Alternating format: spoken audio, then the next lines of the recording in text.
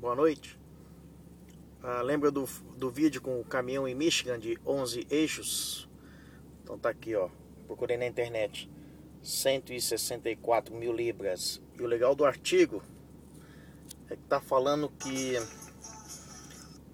ah, que quando você carrega 80 mil libras, que nem eu ando normalmente com cinco eixos, exerce são 18 mil libras por eixo. E o caminhão com 164 mil libras, com 11 eixos, exerce 13 mil libras. Aí Michigan defende a teoria de que é menos eixo, é, desculpa, é menos peso por eixo. E aí o desgaste da estrada é menor. É a teoria do estado de Michigan, por isso que eles liberam os 164 mil libras para 11 eixos.